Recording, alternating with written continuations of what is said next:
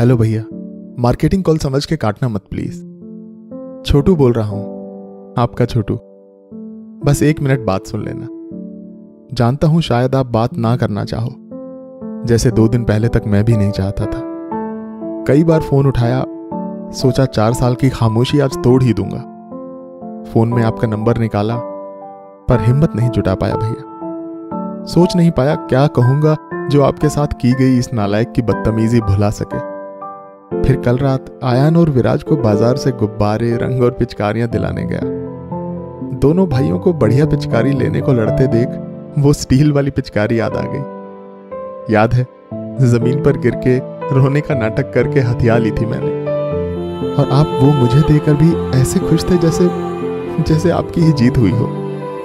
माफ़ करना, इस सब के बावजूद भी ये बात दिमाग से नहीं निकली कि फ़ोन पर बात करूँगा तो पता नहीं आप क्या कहेंगे। इसलिए जो भी दिमाग में आ रहा है, वो अनफोल्ड क्राफ्ट के वॉइस रिस्पॉन्स के ज़रिए आप तक भेज रहा हूँ। बस आज इस होली, हो सके तो मुझ पर थोड़ा अपने आशीर्वाद का रंग डाल देना।